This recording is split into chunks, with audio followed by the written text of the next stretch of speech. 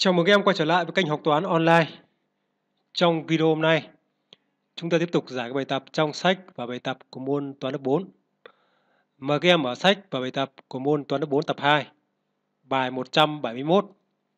Ôn tập về tìm hai số khi biết tổng hoặc hiệu và tỷ số của hai số đó. Đầu tiên, các em làm bài tập số 1, tìm A và B rồi viết vào ô trống. Ở đây chúng ta có một bảng. Dòng thứ nhất là tổng của A và B. Dòng thứ hai là tỷ số của A và B. Dòng thứ ba, các em phải tìm giá trị của số A bằng bao nhiêu. Và dòng cuối cùng, các em tìm giá trị của số B bằng bao nhiêu dựa vào tổng và tỷ số của hai số. Đầu tiên, tổng của hai số bằng 234. Tỷ số của hai số là 1 chia cho 2. Ở đây, chúng ta chỉ ôn tập ôn tập về tìm hai số khi biết tổng hoặc hiệu và tỷ số của hai số đó. Cho nên không cần phải vẽ sơ đồ, thì các em cũng hiểu được rằng tỷ số của hai số là 1 chia 2.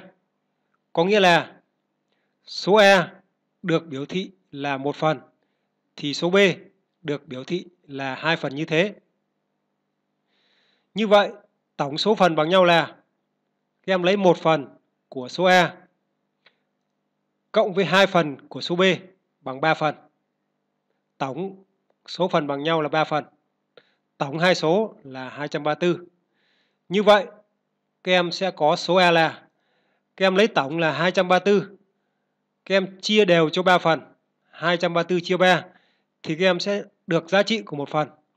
Sau đó các em nhân với một phần của số E thì các em sẽ tìm được số E 234 chia 3 nhân 1 bằng 78 như vậy số E bằng 78 muốn tìm số B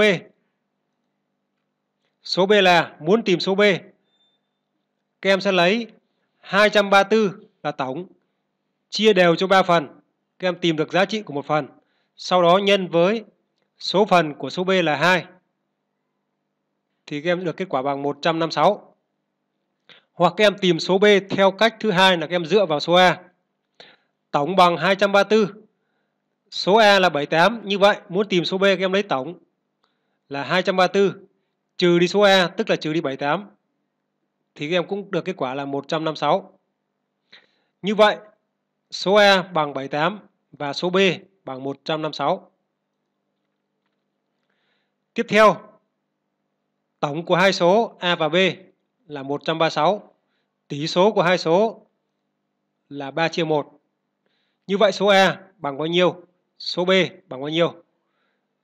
Theo cách làm trước thì ở đây không cần vẽ sơ đồ. Các em cũng hiểu là tỷ số của A và B là 3 chia 1. Có nghĩa là các em hiểu ngầm là số A được biểu thị là 3 phần bằng nhau. Số B được biểu thị là một phần như thế. Như vậy, tổng số phần bằng nhau là 3 cộng 1 bằng 4 phần. Do đó số A là các em lấy tổng của hai số là 136 chia đều cho 4 phần thì các em sẽ tìm được giá trị của một phần. Sau đó các em nhân với số phần của số A là 3 phần. Như vậy 136 chia 4 nhân 3 bằng 102. Do đó số A bằng 102. Muốn tìm số B thì các em sẽ lấy tổng là 136 trừ đi số A là 102 bằng 34. Như vậy A là 102 và B là 34.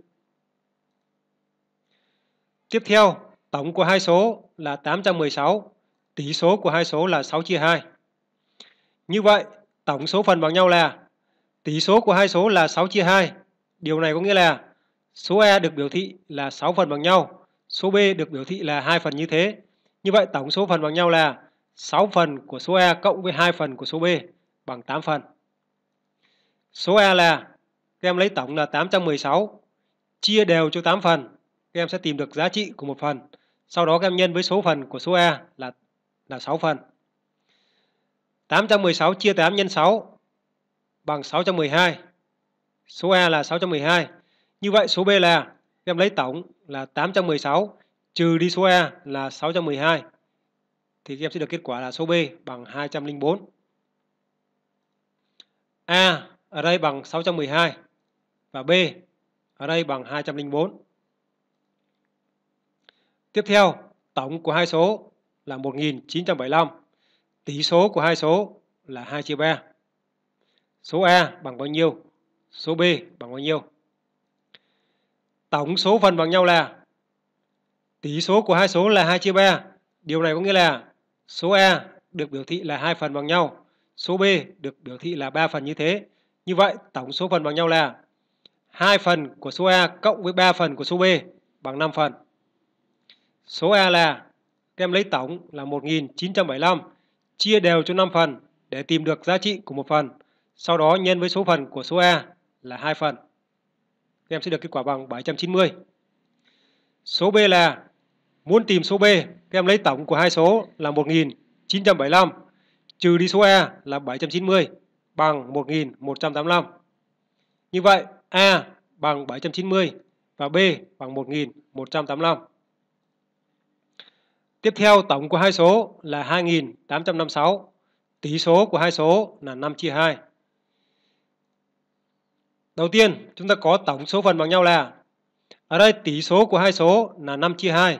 Điều này có nghĩa là số E được biểu thị là 5 phần bằng nhau thì số B được biểu thị là hai phần như thế. Tổng số phần bằng nhau là 5 phần số A cộng 2 phần số B bằng 7 phần. Số A là, em lấy tổng là 2856 chia đều cho 7 phần để các em tìm được giá trị của một phần. Sau đó các em nhân với 5 phần của số E. thì các em sẽ tìm được số E là 2040.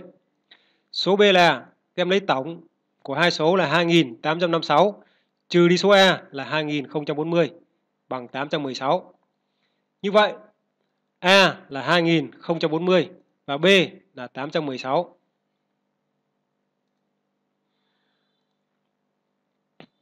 Tiếp theo, em sang bài tập số 2. Tìm x và y rồi viết vào ô trống. Hiệu x trừ y, tỷ số x chia y, x bằng bao nhiêu và y bằng bao nhiêu. Bài tập số 1 là tìm hai số khi biết tổng và tỷ số của hai số đó. Bài tập số 2 là tìm hai số khi biết hiệu và tỷ số của hai số đó. Hiệu bằng 432, tỷ số là 4 chia 1, như vậy x bằng bao nhiêu, y bằng bao nhiêu. Ở đây, các em đã làm quen dạng toán này rồi, thì các em không cần phải vẽ sơ đồ. Các em dựa vào tỷ số của hai số là 4 chia 1, thì các em sẽ hiểu ngầm là số x được biểu thị bằng 4 phần bằng nhau, thì số y sẽ được biểu thị bằng một phần như thế. Hiệu số phần bằng nhau là 4 phần của số x trừ đi một phần của số y bằng 3 phần. Hiệu số phần bằng nhau là 3 phần. Hiệu của hai số là 432. Như vậy, số x là các em lấy hiệu của hai số là 432. Các em chia cho 3 phần thì các em sẽ tìm được giá trị của một phần. Sau đó các em nhân với 4 phần của số x thì các em sẽ tìm được số x. 432 chia 3 là giá trị của một phần nhân với 4 phần của số x bằng 576. Số x bằng 576 thì số y sẽ là, các em lấy giá trị của một phần là 432 chia 3 nhân với một phần của số y. Như vậy số y sẽ bằng 144. Hoặc các em sẽ tìm số y theo cách thứ hai là các em lấy số x là 576 trừ đi hiệu là 432 thì các em cũng được kết quả bằng 144. Tại sao lại lấy số x trừ đi hiệu thì sẽ được số y? Ở đây thầy giáo sẽ giải thích như sau. Các em có hiệu x trừ y bằng 432. Ở đây y là số là số trừ. Muốn tìm số trừ, các em lấy số bị trừ trừ đi hiệu, tức là x là số bị trừ, trừ đi hiệu là 432. Như vậy y bằng x trừ đi hiệu, tức là trừ đi 432. Các em thay x bằng 576. Như vậy y sẽ bằng 576 trừ đi 432.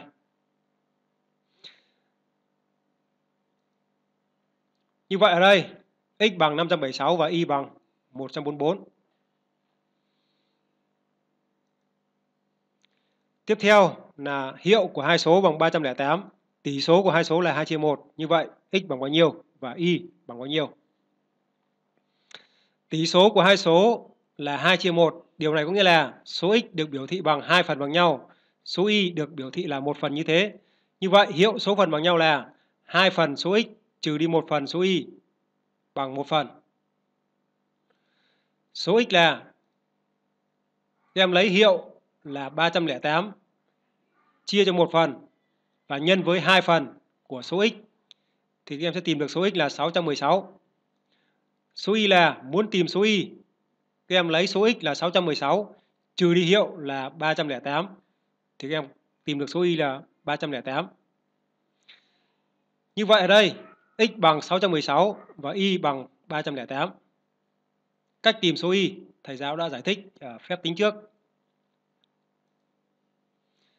Tiếp theo, hiệu của hai số bằng 603. Tỷ số của hai số là 6 chia 3. X bằng bao nhiêu và Y bằng bao nhiêu?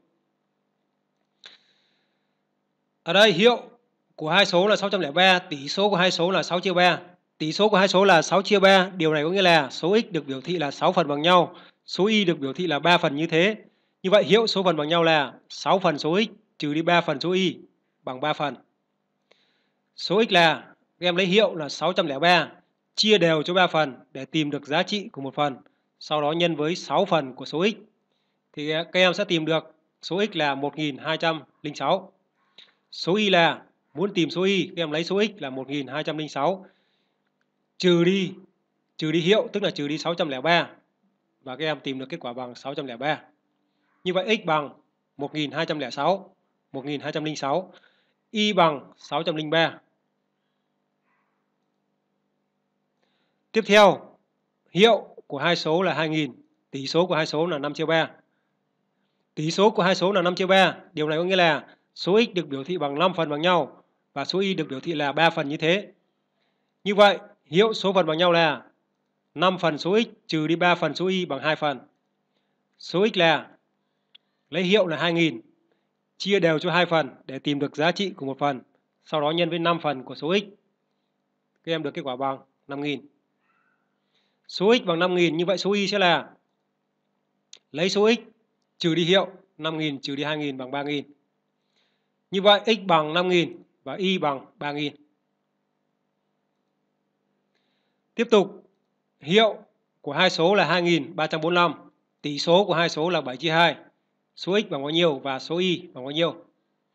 Tỷ số của hai số là 7 chia 2. Điều này có nghĩa là số x được biểu thị là 7 phần bằng nhau, số y được biểu thị là hai phần như thế. Như vậy, hiệu số phần bằng nhau là 7 phần số x trừ đi 2 phần số y bằng 5 phần. Số x là em lấy hiệu là 2345 chia đều cho 5 phần để tìm được giá trị của một phần, sau đó nhân với 7 phần của số x. Như vậy em tìm được số x là 3283. Muốn tìm số y, các em lấy số x là 3283 trừ đi hiệu là 2345 bằng 938. Như vậy x bằng 3283 và y bằng 938. Tiếp tục các em sang bài tập số 3. Bài tập số 3 có nội dung như sau. Đoàn vận động viên có 370 người, trong đó số nữ bằng 2 phần 3 số nam. Hỏi đoàn đó có bao nhiêu vận động viên nam, có bao nhiêu vận động viên nữ. Tổng số người là 370, tỷ số của số nữ và số nam là 2 chia 3 hay là 2 phần 3. Đây là dạng toán tìm hai số khi biết tổng và tỷ số của hai số đó. Tổng là 370 và tỷ số là 2 phần 3 hay là 2 chia 3. Đầu tiên, ta có sơ đồ. Dựa vào đâu để vẽ sơ đồ? Dựa vào tỷ số của hai số. Tỷ số của hai số là 2 phần 3. Số nữ bằng 2 phần 3 số nam có nghĩa là tỷ số của số nữ so với số nam là 2 phần 3. Tỷ số của số nữ và số nam là 2 phần 3. Điều này có nghĩa là số nữ được biểu thị bằng, được biểu thị là hai phần bằng nhau. Thì số nam sẽ được biểu thị là 3 phần như thế. Tổng của số nữ và số nam là 370 người. số nữ bằng bao nhiêu, bằng bao nhiêu người và số nam bằng bao nhiêu người. Như vậy, dựa vào sơ đồ, chúng ta sẽ phân tích và giải bài toán là như sau.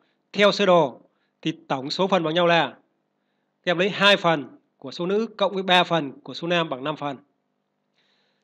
Như vậy số vận động viên nữ là các em lấy tổng là 370 người chia đều cho 5 phần. Để làm gì? Để tìm được giá trị của một phần. Sau đó nhân với số phần của số nữ là 2 phần. Thì các em sẽ tìm được số nữ. 370 chia 5 nhân 2 bằng 148 người.